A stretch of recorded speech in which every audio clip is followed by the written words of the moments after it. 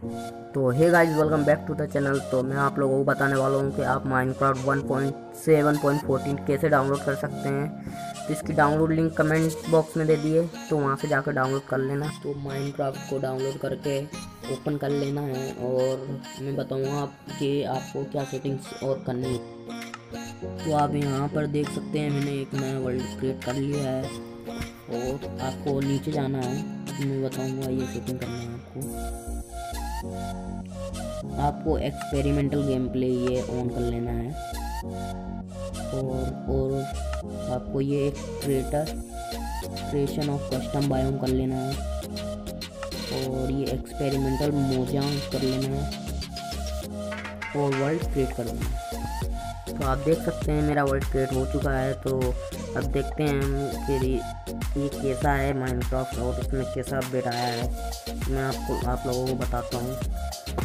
तो आप देख सकते हैं ये कितना लैग कर रहा है गाइस ये टू जी वाले फ़ोन में काफ़ी लैग करेगा, इसलिए आपका बड़ा फ़ोन हो तो ही अच्छा है।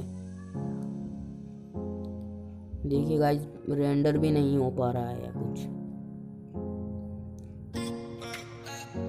ये केव में चलते हैं, हम देखते हैं कैसी है ये केव काफ़ी गहरी केव है ये। और इस इस अपडेट में काफ़ी गहरी गहरी केव आ गई है। इसके अंदर कुछ दिख भी नहीं रहा है। चलो यहाँ से नाइट विजन लेते हैं। सर्च करते हैं नाइट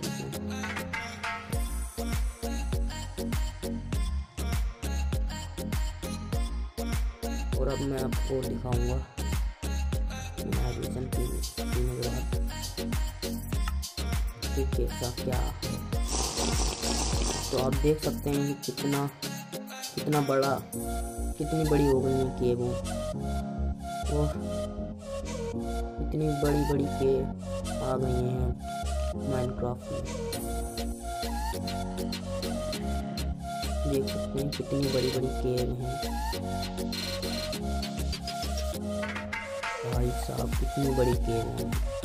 तो आई होप आपको वीडियो अच्छी लगी हो तो लाइक कर देना और नए हो चैनल पे तो सब्सक्राइब कर देना। तो मिलते हैं एक नई नई वीडियो के साथ, तब तक के लिए थैंक्स फॉर वॉचिंग